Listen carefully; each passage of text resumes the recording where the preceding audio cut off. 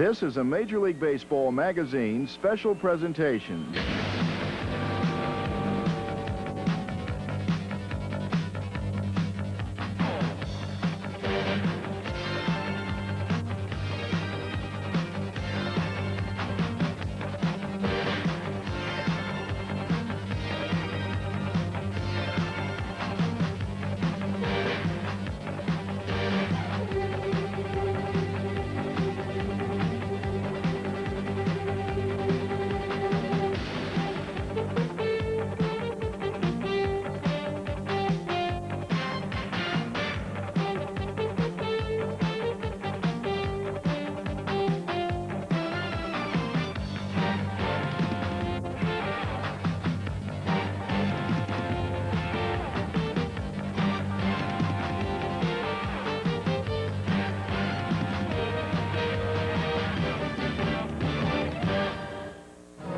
Major League Baseball magazine. This week's cover story, 1975, and a pair of rookies who took Boston by storm. Our styles mixed together very well, and we knew each other, and that helps a lot. We'll travel to the minor leagues where a pitcher finally makes the big time by keeping his mouth open. I thought I could go out and have a great year in baseball and that'll possibly be my chance to be on ESPN, but here I am on ESPN saying Smittyisms. And we'll go around the league where three Tommy John errors on one play is a little hard to swallow. I should have just eaten the ball. That's it, just, just eat it. This is Warner Fusselle.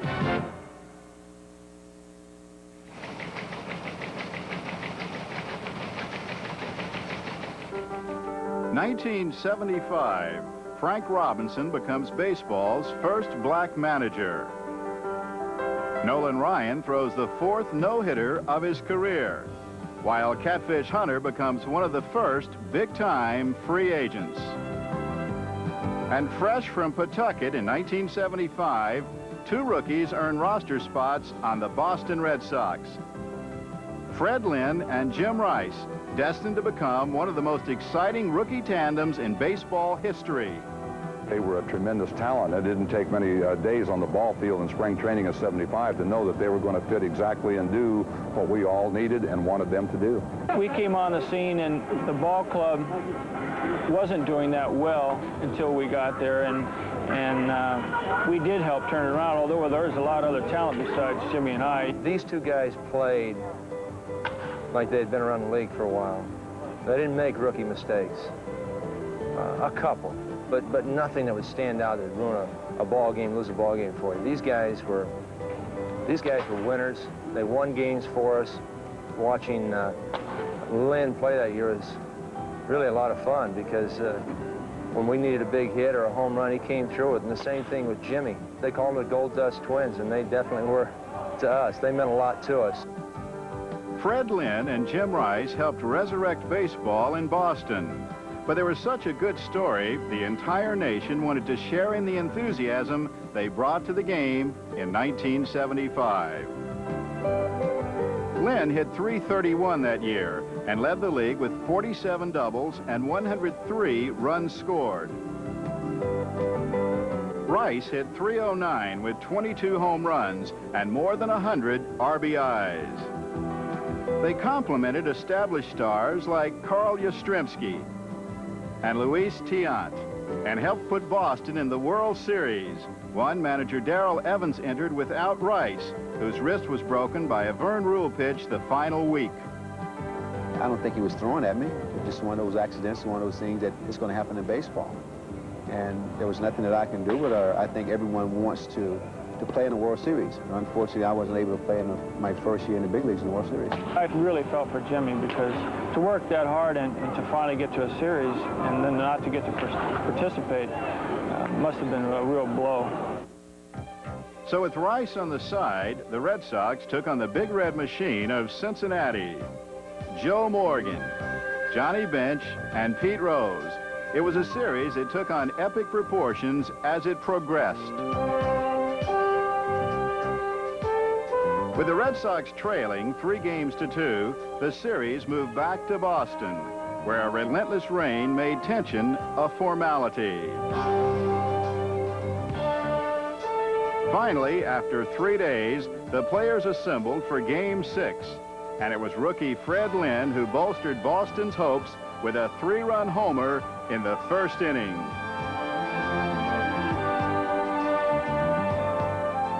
But even with Tiant on the mound, the Big Red Machine came roaring back and led 6 to 3 in the eighth after a leadoff homer by Cesar Geronimo. Boston appeared dead, and then Bernie Carbo. Deep center field, way back, way back. We're tied up. Incredibly, the score was tied at six. Then in the bottom of the 12th, Boston's Carlton Fisk painted an image that would live forever in baseball memory. The 1-0 delivery to Fisk. He swings, long drive, left field. If it stays fair, it's gone. Home run! The Red Sox win. And the series is tied three games apiece.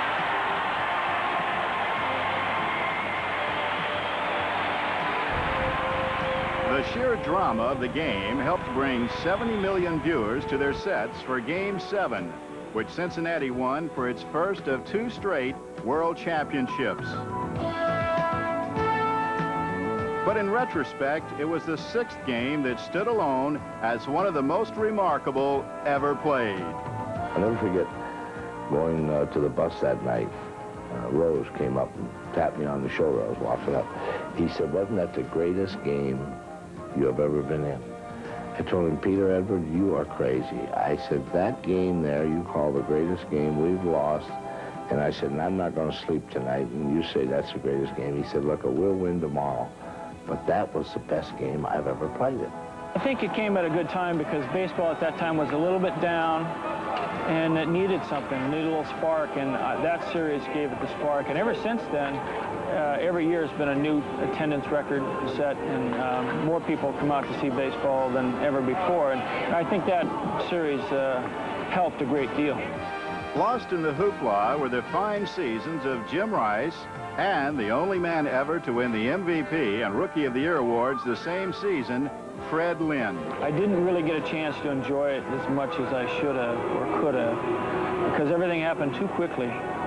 Um, when the awards started coming, um, I just said, well, you know, thanks a lot, and, and were, I just kind of looked at them, and, and, they don't really mean that much to you when you get them. It's, it kind of takes a while. When you put everything away, you go back, not necessarily look at your Golden Gloves, the other awards are, are good, but by winning uh, eight Golden Gloves or MVP or Rookie of the Year doesn't mean you've been in the Hall of Fame.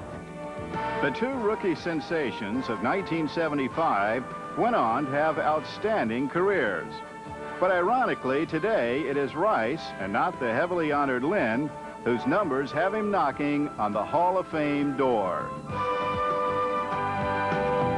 A lifetime 300 hitter, Rice led the league in homers three times, twice in RBIs. Despite his recent problems in Boston, Jim has given the city a long and productive career. It's been a different story for Lynn, who was traded to California in 1981 and is now with Baltimore. Haunted by nagging injuries, Fred never lived up to the potential he displayed in 1975. I think when Fred left this ballpark, it hurt him. Because uh, he had such tremendous power to left field in this park. This park was built for him. When I got to Fenway, I learned how to hit the ball the other way, and I could do it very effectively. It took me a couple of years to adjust to not playing there. And my average has never been as good as it was as it was when I played with the Red Sox. Won eight gold gloves, and I've always said I've always had a great center fielder next to me. And that's what makes the side fielder so good is a great center fielder. And Freddie was that to me. He really complimented me as an outfielder, so I hated to see him go. Our styles mixed together very well, and we knew each other, and that helps a lot. I felt that uh, we had we would have had a good career together here playing in Fenway Park, and I didn't want him to go because he knew how I, how I was going to play, different reactions as far as playing left field, as far as playing together because we played all through minor leagues together. It would be nice to go out and sit around and, and shoot the bull for a while. It would be fun. Um, although you start to to uh, digress a little bit and you start to say, geez, wouldn't it be nice if we could all get together again and do it, but it doesn't look like that's ever going to happen. But um, it was nice while, while we were there, while it lasted.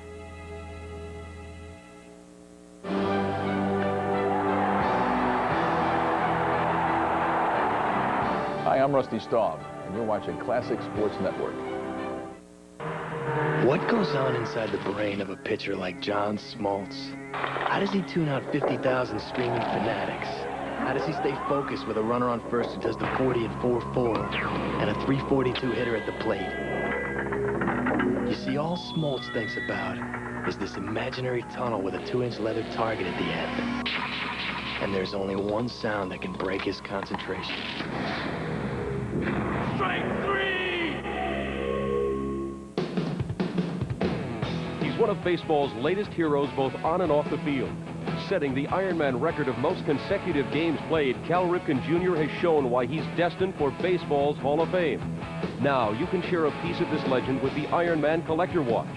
This elegantly styled stainless steel watch is a unique limited edition collectible. This fashionable watch has an attractive micron-plated brass plate for the hour dial, with the date Cal Ripken Jr. broke Lou Gehrig's record and the watch's collector number on the back. It all comes inside this unique leather-like baseball case and includes a matching certificate of authenticity. This valuable collectible will be sold during this TV introductory offer for only $69.95 on a first-come, first-served basis. To order your Cal Ripken watch for three payments of $24.63, call 1-800-793-7025 or send check or money order for $69.95 plus $3.95 shipping to Cal Ripken Watch. P.O. Box 78, Grand Central Station, New York, New York, or call 1-800-793-7025.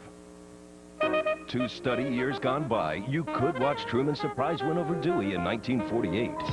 Or check out the surprise win of the Miracle Mets in the 1969 World Series. You could study Nixon's near-perfect sweep in the 1972 election. Or watch total perfection as the 72 Dolphins become the NFL's only undefeated team. If you see history a little differently, watch the Classic Years in Sports, Sunday and Thursday at 7, only on Classic Sports Network. It's Broadway Joe at the top of his game. You make a pass and it's all over. The baby pass now and it's The Joe Namath Show, Wednesdays at 8 p.m. Eastern and Pacific. Tune in and turn on, only on Classic Sports.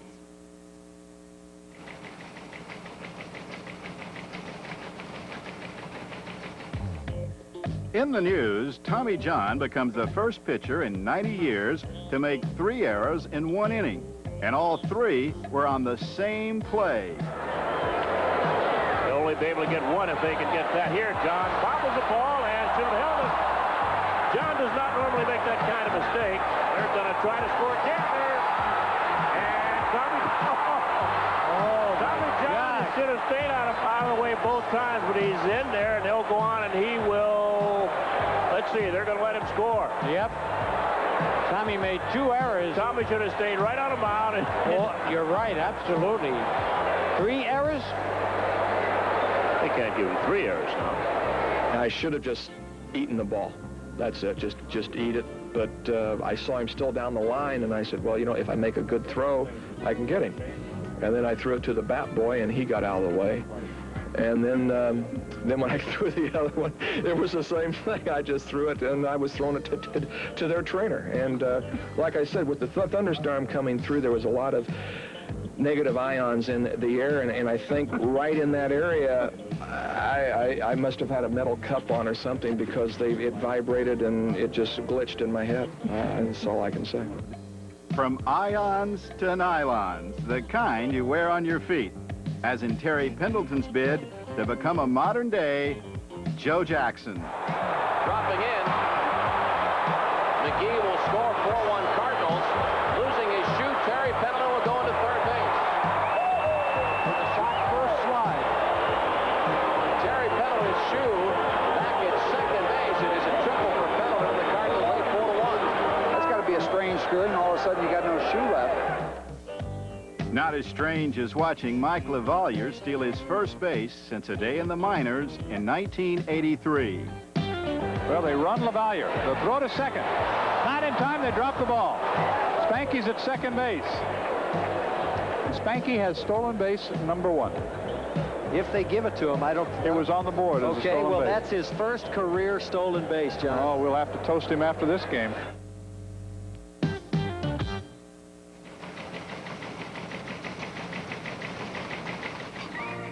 Kansas City's George Brett recently hit two home runs against the Yankees, the second of which won the game.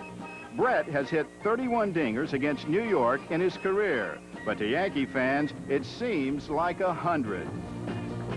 Remember the 1978 playoffs against Catfish Hunter? Well, the Hunter became the Hunted as Brett took the Catfish into deep water with three consecutive home runs.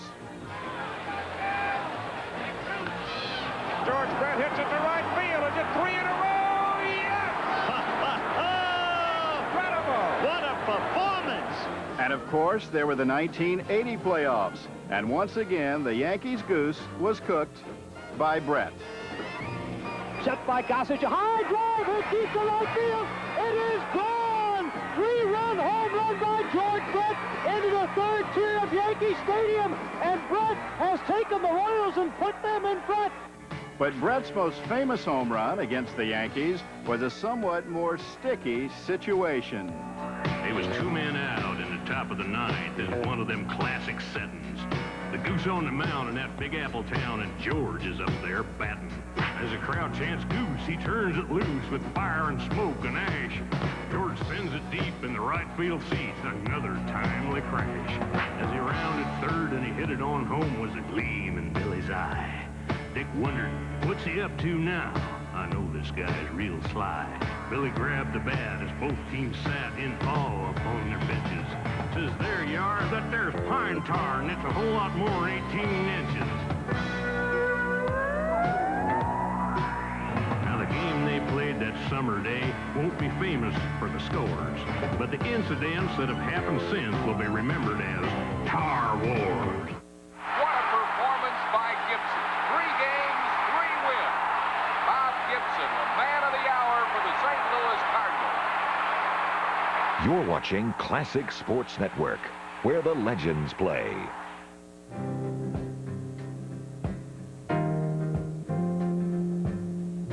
We were uh, more or less more interested, I believe, the players on our club in keeping the streak alive than Lou was. And I might have been given a bad break, but I've got an awful lot to live for. I saw that day, if you talk about sadness in any gathering, that's the day I saw photographers cry. We're all out there on the field, and the fans, oh, an ovation like I've never heard in my life before or since. It's the greatest thing I've ever seen in my life, believe me. Today, I consider myself the luckiest man on the face of the earth.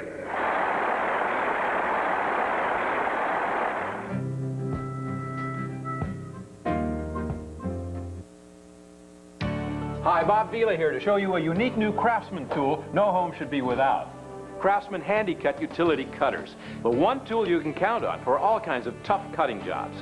Craftsman Handy Cut does the job of utility knives, carpet knives, shears, shop cutters, and more.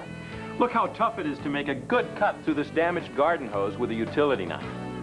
Craftsman Handy Cut gets it done in one clean cut. It's a terrific small branch and shrub pruner. Shears or shop cutters can't trim vinyl flooring as easily as the Craftsman Handy Cut. Use the Craftsman Handy Cut to cut nearly any common household material, including rope, plastic, leather, vinyl, and rubber. Call now, and you can order your Craftsman Handy Cut for only $19.99. And remember, when you buy from Sears, your satisfaction is guaranteed or your money back. To order your Craftsman handycut, get your Sears card or their credit card ready and call 1-800-203-9944. That's 1-800-203-9944. Call right now. They were one of the greatest teams in football history, a dynasty lasting nine seasons. Who is this legendary powerhouse? Hi, I'm Tom Brookshier. And I'm Pat Summerall. Every Wednesday night, review a classic week of games from the 1960s and 70s as Pat and Tom profile the toughest matchups and key players. Plus, We'll be showing you all the best pro football action I'll say no more. Watch This Week in Pro Football, Wednesday at 10, only on Classic Sports.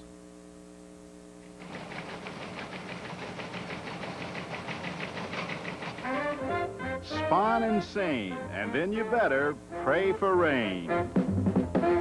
It's one of those baseball axioms born in the newspaper that has stood the test of time.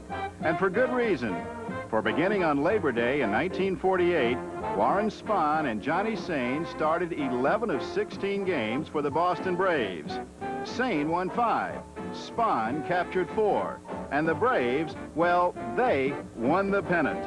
In 48, our schedule was such in New England that we had a lot of scheduled off days because of the weather. And it just so happened that Vern Bickford came up with a bad arm so that we had a scheduled off day and then it would rain so that John would pitch, I would pitch, John would come back, I would come out. And I think for about six or seven starts, that's what it was. And we got hot and we won the pennant. And uh, one of the newspaper men, I don't remember his name, coined the phrase, Spahn Sain and pray for rain. And it's probably the greatest publicity that John and I ever had. But it was unfair to Nelson Potter and Bobby Hogue and Vern Bickford that had good years that year. During those days, they drew a lot of cartoons in the papers, and they drew a cartoon of uh, me camped on the mountain with a teepee and a campfire and all. But uh, Spahn would pitch, and I would pitch, and it would rain, and he would pitch, and I would pitch. In other words, during that period of time, I pitched nine complete games in 29 days. That's nine times in a row with two days rest. Of course, you can't always do that in the World Series, as the Braves found out against the Cleveland Indians. Johnny Sain pitched a four-hit masterpiece in the first game, outdueling Bob Feller one to nothing. But it was all downhill for the Braves from there.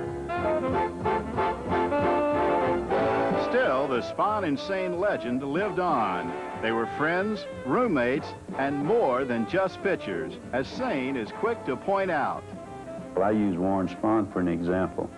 Here's a guy could hit, he could bunt, he could field his position, he could hold men on base, and he could pitch. Now, how many games did he win? He won 20 games, 13 years. How many games did he win by being able to do the other things? Sain also was quite a hitter, batting 323 in 1946 and 47, and in 205 at-bats, he struck out only once. But Spahn, who won his 300th game in 1961, is one of baseball's greatest pitchers. He holds the National League record with more than 5,200 innings pitched and owns the Major League record for victories by a left-hander with 363. And he didn't win his first game until he was 25. No wonder, after Spahn and the prayers went out for rain.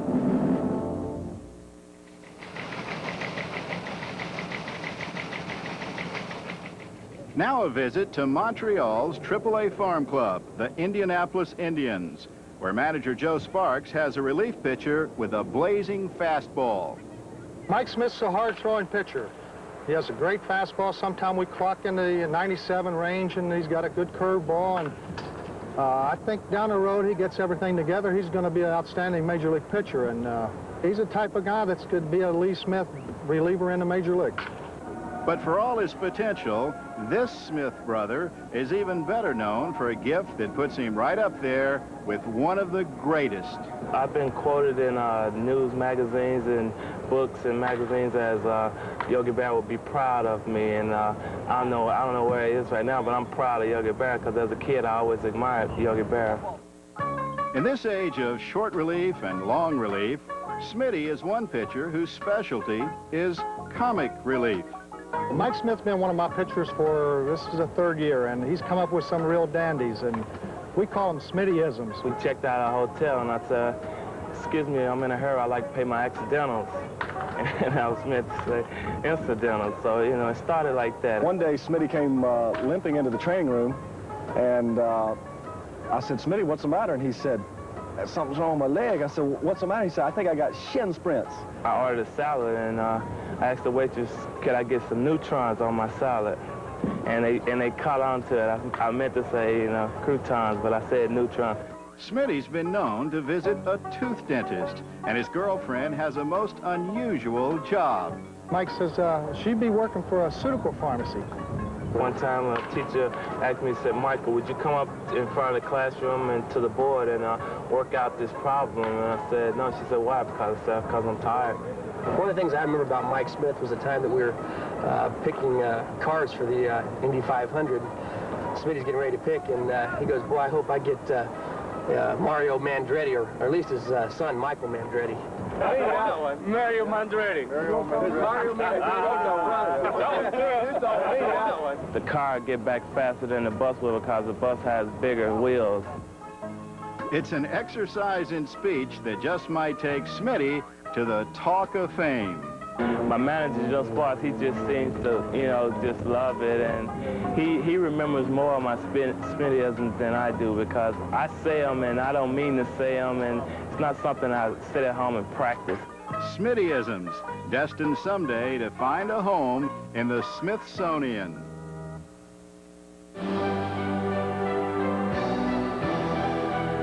Hi, I'm Jerry Coleman, former Yankee, longtime broadcaster. You're watching Classic Sports Network. Big NASCAR fan, eh? So if you can't get to the races, how do you get official merchandise for your favorite driver? Well, here's how. Call this toll-free number and order your official 1997 race pack. Say your favorite driver is Rusty Wallace. Your race pack would include a Rusty Wallace license plate, key ring, and bumper sticker. You also get a NASCAR mug, a NASCAR can cooler, a 1997 Winston Cup schedule, and an official Ford racing cap, the car Rusty drives. Choose from many of today's hottest drivers. Sorry, some drivers may not be available. But if your driver's race pack is not available, order the regular race pack. It has the same great NASCAR items in your choice of Ford, Chevy, or Pontiac racing cap. The special TV price for all this is just $29.95, and it's not available in stores, so call now. To order your 1997 race pack, call 1-800-446-4771 or send check or money order for $29.95 plus $5.85 shipping and handling to the address on your screen. The 1997 race pack is not available in stores, so call now. 1-800-446-4771. Sorry, no CODs. Willie Mays hits number 512. And the Say Hey kid of the San Francisco Giants now becomes the all-time home run leader in the National Classic League. Sports Network, where the legends play.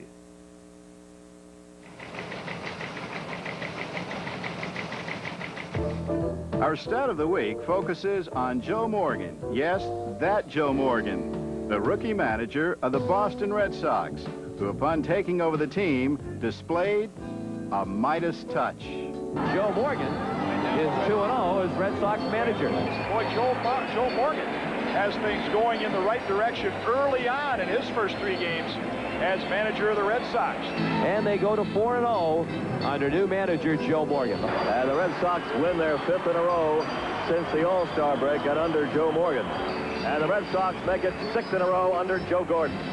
Joe Morgan. I'll get Morgan and Gordon, Nick. The rookie manager led the Red Sox to victory in the first 12 games he ever managed in the big leagues. He's now 17 and 1. Not bad for a kid.